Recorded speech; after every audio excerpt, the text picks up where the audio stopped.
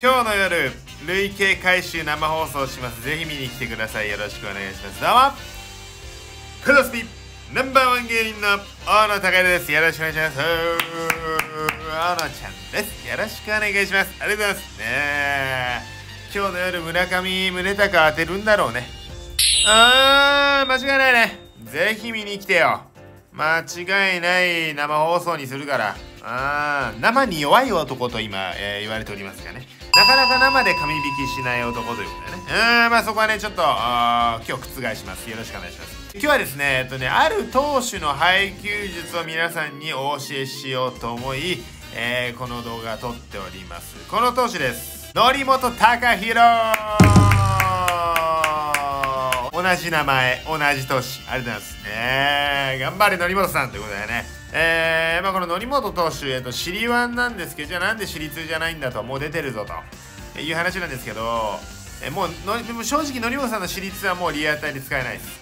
はい。なんでかっていうと、えー、このフォーク、スプリットが、えチェンジアップに変わってしまってると。ああいうことなんですよね。このフォークとスプリットのこの使い分けが強いんだと。こっちの則本さんのスプリット、チェンジアップじゃもうどうしようもないんですよであとね、まあ、このナックルカーブも結構使えるんですよね。そう。でチェンジオブペースは僕自分がまあ則本投手と対戦する時チェンジオブペースはかなり得意なんで、えー、これは絶対投げないです僕は。はい。でえっとまあ脱三振し切り尻上がりというかまあ脱三振はそんなにえー、まああれかなっていう感じで、まあ、尻上がりもあれですけどまあ、キレ、キレがついてるんで、まあいいかな。うん、まあでも尻上がりもまあいいか。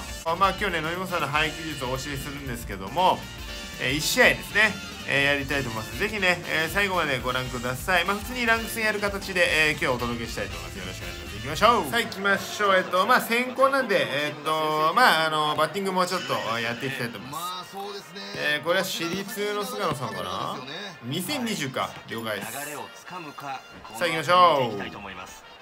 あ ちょっとねちょっとねあかんあかんあかん。それ手出ちゃあかんわうんそれで出ちゃう。もう今日もう見え見えだわ今日の結果。うん。あかんよと。まあ今日はねでも則本さんの動画なんで。OK ナイス。まああのそんなにねバッティングはねうん。あ二塁行かないの？これえこの辺りで二塁行かないんだ。マジかいや凪田さん二塁行くでしょこれだったら。さあ5行こう5ちょっと待って。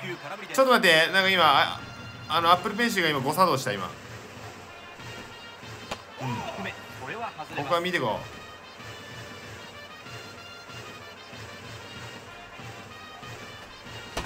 はいゴーゴー。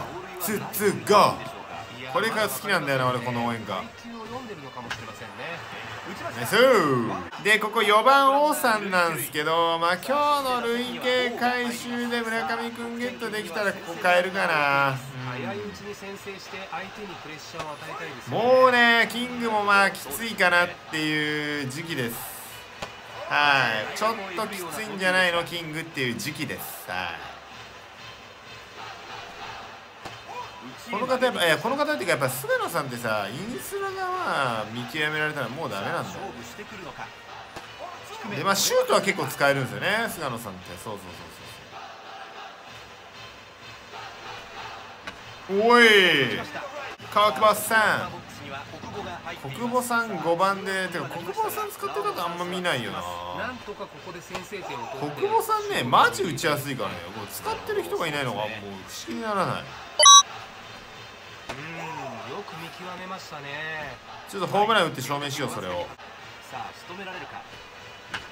インサイド落ちました。え？切り替えていきましょう。さあえっ、ー、とねまず、えー、今の現環境ですね。はい？OK さあ現環境ですね。現環境はやっぱり外角が強いんで1球ここにフォーク放りましょう。うんはいまあ吉さんナイス。ありがとうございます残件ですね。で今の見る見て分かる通りそんなに外角得意じゃないかなっていう感じがするんでちょっと外角一辺倒で1回来たいと思います。はい。でまあもう一丁フォーク。フォーク多投でいいかな、うん、でこれもセンター取れるんで、今の見た感じ、うん、ちょっとフォークには慣れてきたかなって思います。なのでじゃあちょっとボール球に投げてみましょうフォークを、うん、で今のこういう反応をしたんでもう1球ちょっとフォーク投げて。そうそうそう。で1球ストレート。このねストレートが結構効くんですよ。そうなんですよね。で、えーここにスプリットと。これがね落ちないんですよ。これがね戸惑うんだですよね。えー、そうなんです。はい。まあまあこれがねうん。外国のせいとこででであのフォークスプリットだけじゃないよっていう。ここのナックルカーブも結構強いのよ。そうそうそう際どいコース見送っています。こうスローカーブを押さないようにね皆さんね。そこはもう間違いないよね。このナックルカーブも結構強いのよね。はい。で同じところにストレート投げたりすると手出ないです。ですよね。低めのストライク。154キロで、えーフォークですね、うんまあここはもう最悪えーっと歩かせてもいいかなと思ってます。はい。はいありがとうございます。えー、まあちょっとね動画まあ則本さんの動画だけどまあ打とうか。打つところもお見せしたいなってやっぱ大野ちゃんってリアタイうまいねっていう。大野ちゃんにやっぱかなわないよっていうとこ見せたいね。ちょっとねボールで遊ぶ方だねこの方。外のストレーわールストライクが入りませんうわさあフィクサー行こう。フィクサーももうきついかなスピが。あースピがきついかなとは思うよね。そうですねナイスナイスナイスナイスナイス。うわさあここで中地です。中地広角あーまあまあまあオッケーオッケー。中地の打ちやすさやばいから。マジでやばいとこお見せしますわ。ボウ。ヤクルト優勝ちゃうの？どうなの？まあここは山田哲人さんやっぱめちゃめちゃ打ちやすいんだよね。そうですか僕ね浅村さんもあの無課金で使ってるんで分かるんですけど僕山田哲人さんのやっぱセカンド好きかな？ナイス。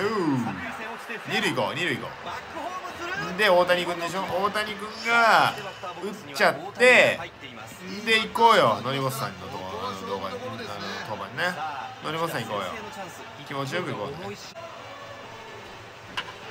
アダ三件です、うん、まあアダ三件だね。うんこれ案件もらっちゃってる。うん。これはもう確実に案件もらっちゃってるわ。ああ間違いないよ。は何から入ってくるか。はい。もうもうツースプで騙されるほど甘くないよ名人っていうのは、うん、ツースプでねあの惑わされるのは達人までです。低めにストレートが決まっていますえもうえこれちょっと疲れてんじゃん。おいおいおい。疲れてるよこの由伸さん。ほら全然曲がんないもん。今の疲れてなかったらワンチャン入ってるよ。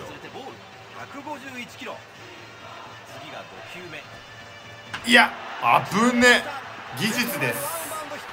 今の D カーブ普通だったらあれ入ってないんですよ。でも疲れてるのを見越して技術で打ちました。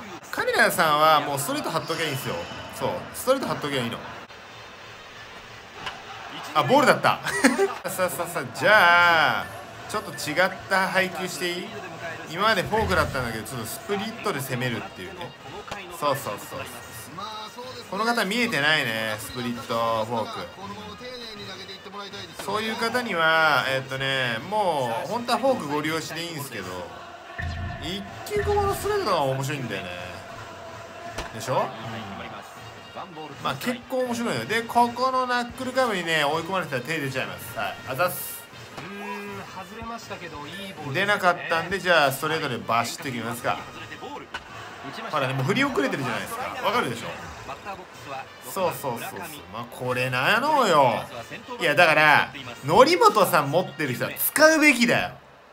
使わねえなんてありえねえから。ありえねえことしてんじゃねえよマジで。使うべきなんだよ。則本さん使わないなんてもうそれどうかしてる。何しとんのんですよもう、うん、間違いないね。でスラカットもあるから。はいそうこの内角のカットボールこれ結構いいんですよ。ボール先行ランナー動いてくるかう盗塁を警戒しながらの投球になりますスリーボールなしん。でスプリットね。これがもうセンターで取るよ。伸びていくどうだ